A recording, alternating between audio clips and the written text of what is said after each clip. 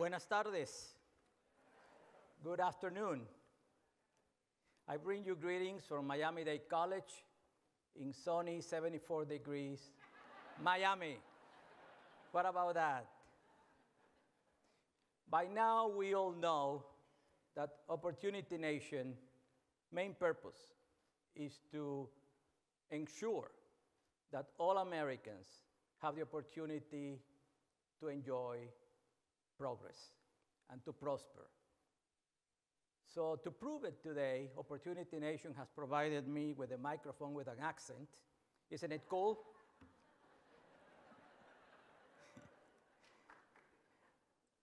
As I was getting ready to come to Washington for this meeting, my assistant asked me, Why do you go to Opportunity Nation? And my response was very simple and very easy. I come here because I cannot think of any better way to get inspired, uh, to meet uh, people who are change agents from all over the country, who come together because they are passionate about opening the door of opportunity very wide. And every time I come here, not only I get so enthusiastic about the future, but I also get to meet people and understand and learn about pathways that really helped me personally do a better job at my institution. So for that, and thank you, uh, I thank you all for, for doing that. You know, this space today is full of individuals who represent the leadership of both the business sector, foundation sector, the nonprofits, education, government, but very especially people, young people, young leaders who not only understand the challenges facing our nation today, but are deeply committed and understand the power of opportunity. Yes, we're all here because we understand and we believe in the collective ability of us, the people of this country, to change things and to make sure that deserving Americans have uh, the opportunity to enjoy the power of opportunity. At Miami Dade College, we believe that opportunity changes everything. It's part of our motto. And it is through this belief that Miami Dade College has become the largest and most diverse institution of higher education in the nation, serving about 100 serving about 165,000 students. We also graduate the largest number of people of color Eh, of any college or university in America, and we're very proud of that. As you well know, providing equal access and equal opportunity for all Americans is a defining issue of our time. I'm passionate about this.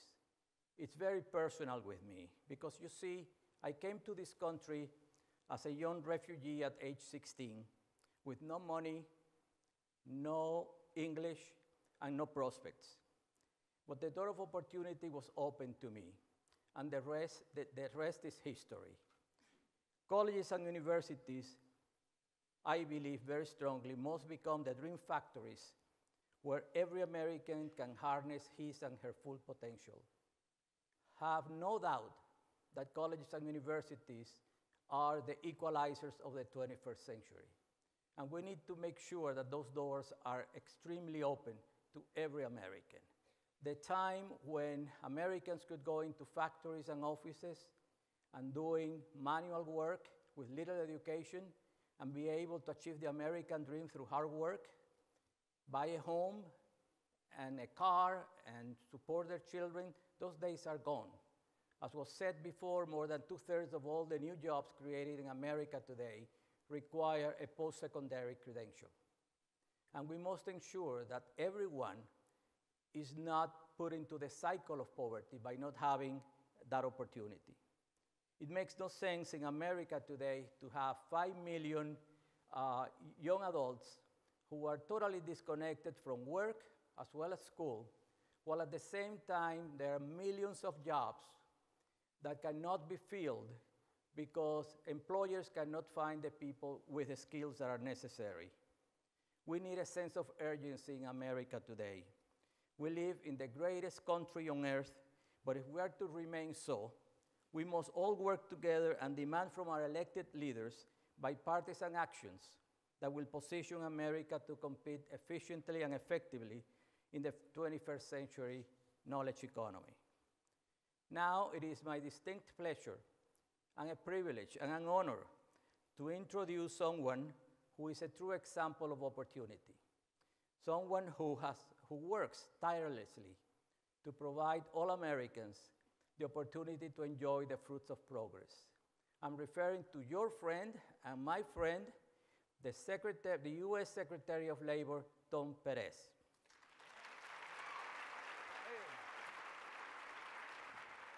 Hola thing.